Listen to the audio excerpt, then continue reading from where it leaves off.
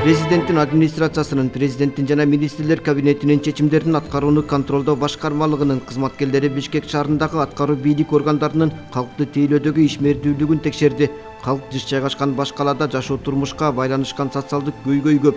Шаар эли үнүн жеткирүү максатында жергиликтүү бийлик органдарына кайрылат бул үчүн жарандардын кайрылуулары боюнча иштөө тууралуу мыйзам бар. Коомдук кабылдамаларды уюштуруу боюнча президенттин былтыр октябрда токтому да чыккан бирок арыз кайрылуулар менен иштөө тартиби жөнгө салынганбы суроо жаратат элден түшкөн арыздаттануулардын көз жаздымда калышы же адилеттүү чечим чыкпай убакыттын создукканы элдин жалпы бийликке болгон ишенимин төмөндөтөт эми ушундай постановление бар ушуну илип койгула деген поручение келген да? Көрсөтөсүз да. Күтүүсүз текшерүүлөр мамлекеттик кызматтардын калкты тейлөөдөгү иши чабал экендигин ачыктап жатат адистер бул ирет бишкек мэриясына төрт район менен калаанын карамагындагы бир нече түзүмдөргө эскертүүсүз барып айрымдарынан одоно кемчиликтер аныкталды бул эмне могу эмне пациенттер? Бул деген эме телефондор көрүнбөйт го жарандар келип э, телефон менен Жок, чалып, көрүнбөйт го? телефон чалышат жардам беребиз жок бул кантип мына могу эчтеке берде турганда мага эчтеке көрүнгөн жок сага көрүнүп атабы мэрия жетекчилигинин жарандарды кабыл алуу убактысы көрсөтүлгөн эмес. Вице мэрлер кабыл алса дагы каттоосуз иш алып барып иш кандай чечилди аягы бүдөмүк экени жалпы бирдиктүү системанын жоктугу белгилүү болду. Эң башкысы ишеним телефондун номурлары жазылган эмес. Жана коомдук кабылдама жок. Время же должно же быть указано. И чуть побольше, да, стенд, чтобы он гражданин видел, да? хорошо мы побольше Потому что мы тоже зашли Мы сразу, сейчас не всё заметили, да, мына мен келдим мойнуга чыгып алып Вы думаете, это удобно? Ну, возможно, чуть неудобно, у нас просто... Стендебіз э, кішіне кичирек болып жазылып қалыптыр, аны біз э, ойынымызға алабыз. Жарандардың қабыл алған карточкалары жөнінде мәселе көтерілді. А, Бұл тарапты да біз э, оңдойбуз. Электронный карточканы түзүшөт. Бирок ал карточкалар электронный эмес, физический варианты болуш керек. Каттоодон э, алар өздөрүн э, электронно өткөрүшөт. Э, ал деген бизден өтүш керек экен. Ошондуктан биз ал кемчиликти дагы жойгонго аракеттерди жасайбыз. Шаар тургундары маселе жаралса катталган жери боюнча аткаруу бийлигине кайрылат. Бул жаран конуш көйгөйүн айтып биринчи май районуна келген. Айтылат айтылат. Мэриянын чогулушунда айтылат деген бияктан айтылат бирок иш жүзүндө эчтеке жок бул акимден баштап кирели аким эмнедеп жооп берет андан кийин тиги мэрге барып мэр менен кезигели мындай бетме бет сүйлөшөлү деп келдик коомдук кабылдама деген эме жокпу бул жерде текшерүүдө жумушуна кайдыгер болгон мамлекеттик кызматтар аныкталууда биринчи май районунда да жарандарга кызмат көрсөтүү иштери талапка жооп бербей турганы ачыкталды кайрыла турган адам толук маалымат алууга мүмкүнчүлүгү жок экен такта уюшулган эмес уюшулганда да жанагы э, жарандарды кабыл алуу боюнча жетекчилерин кабыл алуу боюнча материалдар эски экен мурунку акимдин мурунку орун басарынын фамилиясы жүрөт ал киши кызматтан кеткенине бир айдан ашса дагы ишеним телефон номуру илинген эмес ишеним телефону жөнүндө түшүнүк да жок экен силердечи мекеменин өкүлдөрү калкты тейлөөдө иш начар жүрүп жатканын мойнуна алышты администрация президентеден келип карап текшерүү өткөрүп кетсек деп айтсак болот. Кемчиликтер болду белгилеп кетишти. Анын үстүндө сөзсүз түрдө иштейбиз жана жоебуз. Ал кемчиликтерди. Телефон доверия сіз жоқ емес Жоқ, орта делаем с тобой. Телефон дараем. ал эми октябрь районунда ишеним телефону жок десе да болот. Себеби түз байланыш уюштуруу бөлүмүнө кошулган. Мындай болгондо жарандар кайрылган тигил же бул маселеси боюнча жооп ала албайт. Демек мындай тейлөө кайрылган адамды канааттандырбайт. президенттин администрациясынын президенттин жана министрлер кабинетинин чечимдерин аткарууну контролдоо башкармалыгынын кызматкерлери чындыгында эле ишеним телефон иштейби жокпу жеринде текшерип түз байланышка чыгып көрдү Личный прием вообще м, замдардыкы эмне болот эч качан эме кылчу эмеспиз биз аиске киргизчү эмеспиз Нет, так илинип турбу зам Нет, аким они кабыл принимают, да, но принимают они по журналу, вот, именно вот записывают. по старинке да Я, ну, ушундай бизде.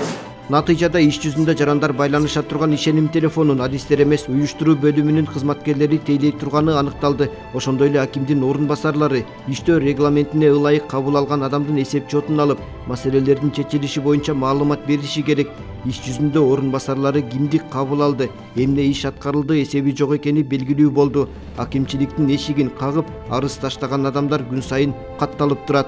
Невозможно бизде аутса бар и мариф деген турецкий школа ачылды невозможно пройти. Эртең менен саат сегизде чоң киши биз баса албайбыз а кичинекей мамашалар коляска менен өтөт да садикке барат тияк биякка вообще невозможно. Мен бул вопрос мененчи мэрияга калдым мэрге тиги бизге октябрьский эмеге жолугушуу болгондо кайрылгам ушул вопрос менен. Буйруса тиги силерден эме чоң жол болот деген.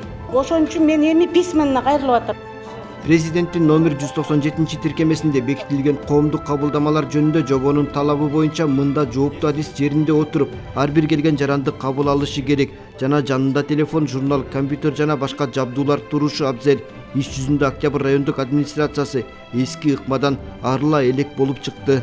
Запись в журнале есть а официальной регистрации э, не производится.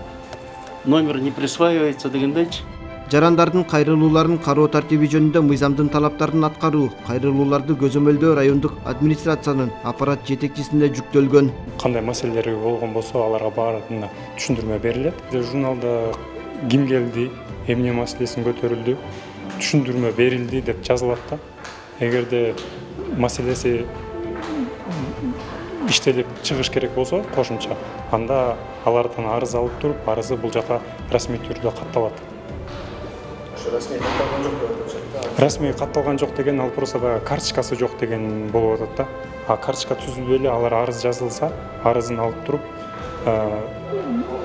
прием эмес мындай жөнөкөй арыз катары катталат баш калаанын свердлов районуна айына жүздөй киши кайрылат бул мекемеде ишеним телефонунун номерлери көрсөтүлбөгөнү болбосо калганы талапка дал келет күтүүсүз текшерүү учурунда паспорт ала албай жаткан адамдын көйгөйү президенттик администрация өкүлдөрүнүн көмөгү менен жеринен чечилди благодаря короче аппарату президенту наши президенттик администрациянын жардамы менен көптөн бери чечилбей жаткан маселебиз чечилди бул иштин баары акимчиликке байланышкан жооптуу кызматкерлер ар кайсы органга жөнөтүп ары бери убара болуп жатканбыз ыраазычылык билдирем адам өзүнүн аты жөнүн айтып туруп эле ошол телефон доверияга ленин району боюнча мондай маселем бар десе ошол секретарь жооп бере албайт дагы секретарь эме байланыштырат да например эме секретарь мүмкүн фиксировать этет жарандардын кайрылуусун кабыл алган катчы журналга номери жок каттоого алынган арыздар жана башка ушул катачылыктар ленин районунан аныкталды прием граждан кто записывается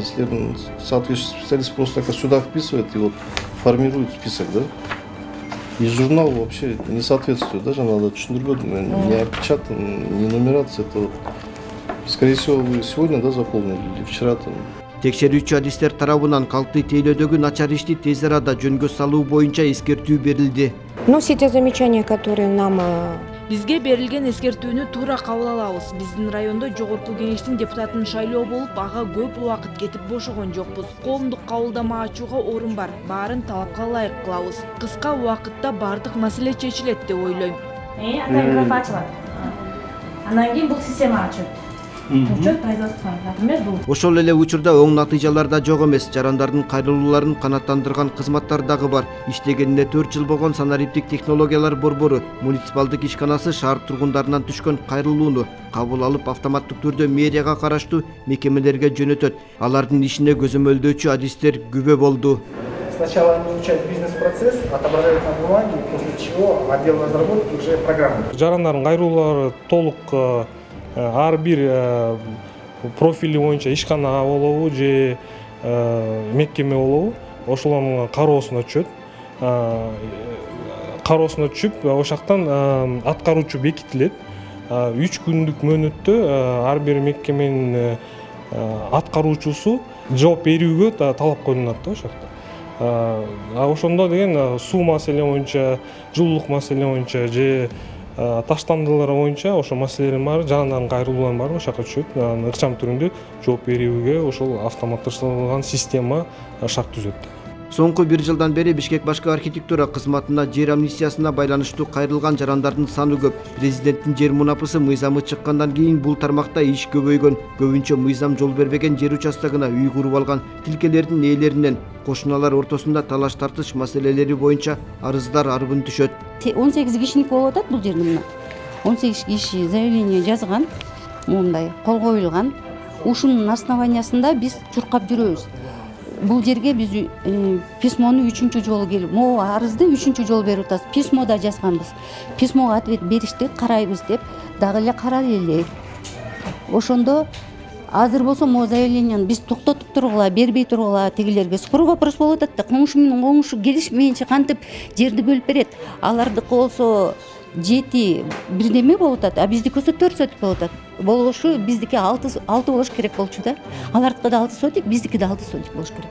Борбор боюнча жети миңден ашык арыз кабыл алынган. Туура жана так чечим чыгарууга шаар бийлигинин башка кызматтары менен биргеликте иш алып барууга туура келет. Жер мунапыс боюнча башталгандан бери жети миңден ашык арыз алдык элдерден анын ичинен бир миң эки жүз даяр болуп берилген. Алардын алар негизинде кызыл китеп мамлекеттик актыларды алынган жарандар менен. Анын арасында жети миң арасында эки миң эки миң жүз арыздар отказ болгон. Отказдын негизги себеби генпланга туш келбегендери кызыл сызыктан өтүп кеткендери жол салынуучу мектеп бала бакча башка социалдык объектилердин ордуна жайгашкан жер участокторуна документ документ бергенден биз баш тарттык да. Маселелерди чечиш үчүн көп этот көп салмактуу жумуштарды жүргүзүш керек. Жалаң бир бишкек глав архитектурадан ал жумуштар бүтпөйт жогоруда аныкталган кемчиликтер элдин бийликке болгон ишенимин төмөндөтүп көпчүлүк аргасыздан президенттик администрацияга кайрылууга мажбур болот. Талдоо көрсөткөндөй жалпы келип түшкөн арыздын отуз тогуз пайызын бишкек шаары камтыйт. Акыркы беш айда мамлекет башчысынын атына жалпы беш миң эки жүз он бир кайрылуу келип түшкөн. Негизги жети багытты алсак көрсөткүч төмөндөгүдөй. Сот жана укук коргоо органдарына тиешелүү кайрылуу бир жарым миңден көп же отуз пайыздан ашат турак жай же жеке үйлөрдү курууга жер участогун бөлүштүрүп берүү боюнча сегиз жүз алты же он беш пайыздан ашык.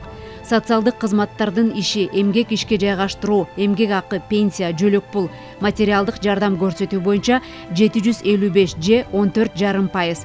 Мамлекеттик сыйлык жарандык берүү мунапыс маселелери боюнча үч жүз жыйырма тогуз же болбосо алты бүтүн ондон үч пайыз. Курулуш архитектура транспорт энергетика жана маселелерди чечүү боюнча эки жүз жыйырма жети же төрт бүтүн ондон төрт пайыз. Саламаттык сактоо билим берүү жана маданият жаатында жүз токсон төрт же үч бүтүн ондон жети пайыз. Насыя жоюу жана мөөнөтүн узартуу кредит берүү жана ссудаларды бөлүү жүз токсон же үч бүтүн ондон алты пайыз. Ал эми калган бир миң бир жүз отуз тогуз кайрылуу же жыйырма пайыздан ашыгы жарандардын социалдык экономикалык көйгөйлөрү камтылган жеринде маселелер жакшы чечилбей кайдыгер мамиле кылып койгон жерлер бар. Формалдуу каралып калган отписка деп коебуз жөн эле бир мындай туура эмес жооптор берилип койгондуктан көпчүлүк жарандар администрация президентке кайрылууга муктаж болууда да мажбур болууда ошол себептен биз ушул көрүнүштөрдү жеринен карап ушул кароонун сапатын ушул маселеге мындай басымдуу көңүл буруу жөнүндөгү маселени көтөрүп жатабыз да. Текшерүүнүн жыйынтыгы менен тийиштүү тактамалар түзүлүп ошол кетирилген кемчиликтер боюнча ошо тийиштүү мамлекеттик органдардын ушул багытка жооптуу болгон жооптуу кызматкерлер дагы дисциплинардык чара көрүү жагы дагы каралат сунушталат. Президенттин администрациясынын көзөмөл башкармалыгынын инспекторлору коомдук кабылдама социалдык мекемелердеги кызмат көрсөтүүлөрдөн тарта мыйзамсыз курулуш ирригациялык каналдардын көчөлөрдүн тазалыгына чейин күтүүсүз текшерүүдө бийлик органдары текшерүүдө табылган кемчиликтерди жоюу үстүндө иш алып барууга милдеттүү